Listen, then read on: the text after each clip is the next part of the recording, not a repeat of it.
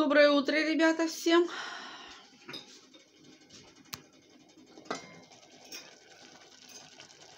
Палыч с утра кашку варит. Уже доваривается кашка гречневая.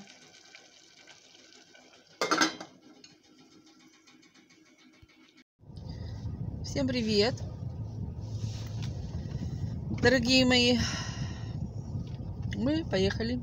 Палыч повез меня в нашу поликлинику к неврологу. Поехали. Дали мне талончик вчера, но я уже говорила. Биология вчерашняя. Поехали. Да и хочу еще зайти потом к заведующей по поводу Палыча.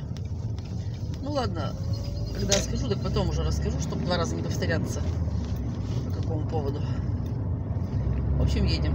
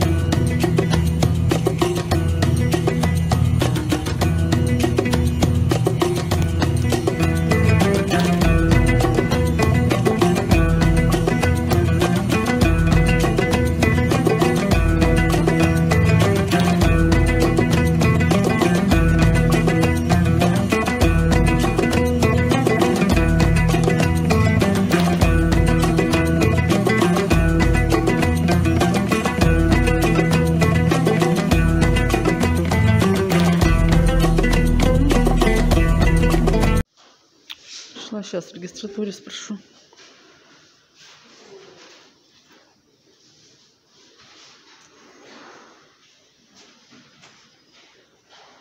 Скажите мне правду, я умираю. Нет, нет, что вы, сеньора, не волнуйтесь. Увидите, еще нас всех переживете. До 90 протянете. Мне 92. А я что говорю, сеньора? Вы уже всех нас э, обскакали. Все, сходила к неврологу со своими проблемами. Ну, в общем-то, все правильно. Он сказал, что там назначила лечение. Это вот это молодец у нас доктор-то наша, терапевт. -то. А кто вот это вам поставил такое заболевание? Я говорю, вот такая-то, такая-то, да? Он говорит, да. Ну, я ему симптомы-то все обрисовал. Он говорит, ну да, все верно, все правильно, все это на фоне диабета у вас. Все правильно. В общем, через полгода на дневной снова мне, он меня сам пролечит от него прийти в октябре, да. Сейчас делать передышку вот в этих лекарствах, что я пью, да, актолифенты, который, да, что, говорит, это кислота все-таки, вы можете нам ну, желудок, чтобы, говорит, не начал хандрить. Ой, он говорит, два месяца перерыв, потом месяц пропиваете, потом до дневной. Сходила насчет тебя, значит, пришла в регистратуру, подхожу к девочке, вот так и так записано, говорю, на УЗДГ вен. Говорю, где мне узнать? Очередь двигается, и куда она двигается? Полтора месяца прошло уже, говорю, ни, ни ответа, ни привета. Мы не знаем в регистратуре, мы не знаем, я говорю, куда мне обратиться, к заведующей мне идти, или куда вы меня куда-нибудь отправьте, чтобы я, кто знает, ответили мне, да? Ну, отправили меня в 104 кабинет, я захожу туда, не захожу, она вышла из кабинета, женщина, ну, там эта медсестра. Ну, я спросила, э, ситуацию объяснила.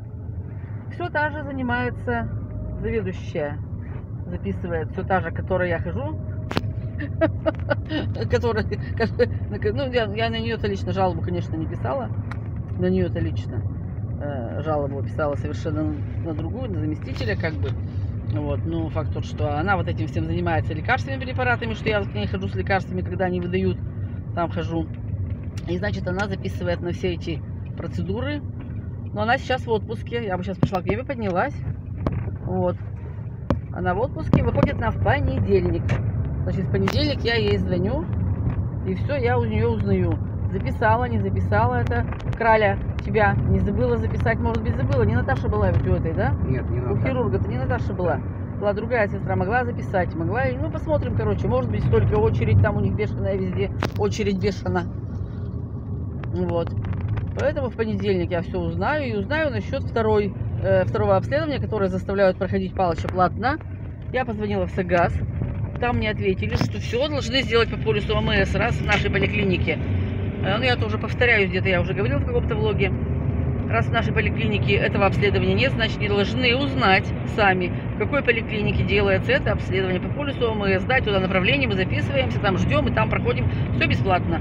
Поэтому, значит, я все это решу в понедельник, заведующий. Все это я разрешу проблему.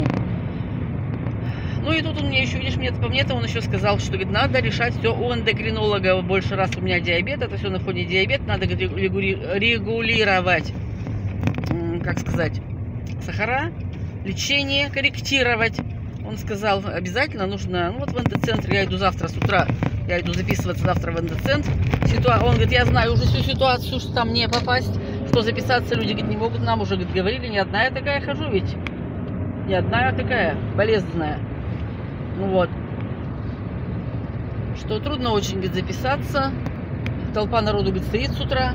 Все, говорит, там, в общем, ну, надо, короче, ехать, наверное, даже не к 7, я даже не знаю, ко скольки ехать, чтобы занять очередь. Я не знаю, с 8 они открываются, но к 7 так точно надо ехать, чтобы попасть эндоцентр. Без 27. Да, чтобы там уже хотя бы быть, хотя бы в машине посидим, что нам делать-то? Можно даже полседьмого приехать, хотя бы, чтобы быть мне там, пусть не первой, но чтобы в первой десятке хотя бы. Вот, ребята, ситуация какая. Чтобы попасть к врачу, да, я не могу записаться уже, да, в этот эндоцентр, я не могу записаться уже. Сейчас скажу, месяца, наверное, 3-4.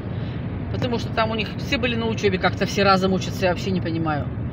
Все, они учились, учились, учились, учились, все на учебе не записывали. Потом запись вот началась две недели назад. Я стала звонить, я не могла дозвониться, я звонила полдня. Я полдня высидела на телефоне. Когда уже я дозвонилась, все талоны кончились. Все, уже шапошный разбор был. Вот. Поэтому 27-го я решила, что я поеду прямо туда. Она говорит, хотя нет, вы по телефону старайтесь дозвониться. Э, у нас тут столько народу, у нас регистратор одна, да и она, наверное, вторая уйдет у нас, наверное, на больничный. Как можно знать, идет она на больничный, идет она на больничный. Я понимаю, если понять, декрет, еще можно знать, что ты уйдешь в декрет, да? Ну как узнать, что через две недели регистратор уйдет на больничный? Мне вопрос, конечно, интересный. Я, ну, я говорю, хорошо, хорошо, ну, естественно, я поеду. Поеду и с утра займу, и я все равно, мне надо попасть, потому что у меня лечение, у меня вот именно надо с эндокринологом мне регулировать все. Поэтому мы поедем, ни свет, ни зря в машине посидим, в карты поиграем.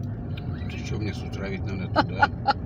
Самому с утра надо. Так ладно, привезешь меня, посидишь там, часик-то посидишь со мной, а потом уйдешь, потом уйдешь. Пять раз в карте обыграю и пойду. Пять раз карты обыграешь, да? На раздевание. На Ага. раздевание. Пойду записываться в одних трусах. Кто кого повезет на машине. Кто кого повезет, да, и на чем. Кто кого на чем повезет. Галопом на одном месте или на машине. Что тут опять сюда? А что это здесь делать? А?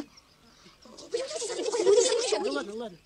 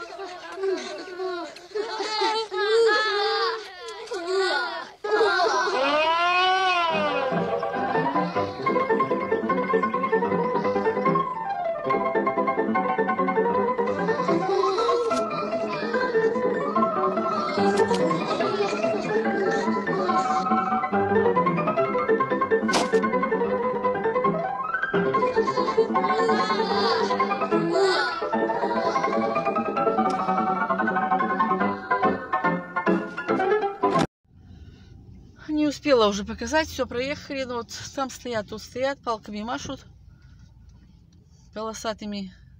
Ну, это хорошо, дорогу ремонтируют, это хорошо. Вот, видите, бегает тут пропускник. Пропускник. О, видите, стоят, ремонтируют все. Целые эти поезда. Ага. Трейлер приехал. А, здесь тогда стоит трейлер какой-то, да-да-да, где-то это не то. А, Где-то мы проехали. Ну ладно, хоть что-то сделают. Дороги-то у нас ведь безобразные. Ну тут очень хорошо делать. Смотри, этот тротуар так хорошо сделан. Дорога сделана очень хорошо. Просто я вообще ничего не вижу, понимаешь? О, вообще не вижу подвески, что ли, нет, ничего не понимаю. Так, ну ладно, поехали до магазину. Надо тут купить кое-чего. Кое-чего, да ничего. Ну ничего делают, вот видите, вот все везде. Уж очень долго они эту улицу делают.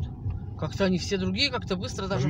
Дырки специально толщину асфальта замеряют. Ну, все. правильно Так замеряют. делают вообще капитально. Хорошо делают, молодцы.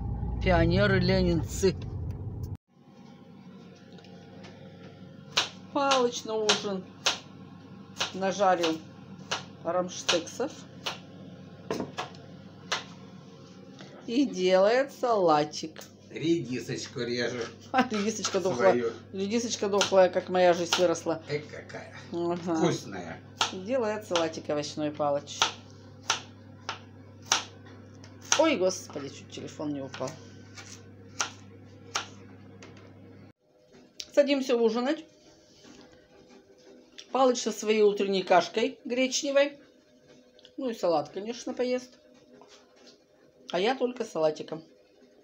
Всем, кто ужинает, дорогие мои, приятного аппетита. Ну, кто также завтракает или обедает. Всем, кто принимает пищу. Приятного аппетита. Спасибо. Приятного аппетита, ребята. Привет, привет. Приятного, говорю, аппетита. Он говорит, привет, привет. Ешьте кашку по утрам и вечерам. Гречневая очень вкусно, полезно.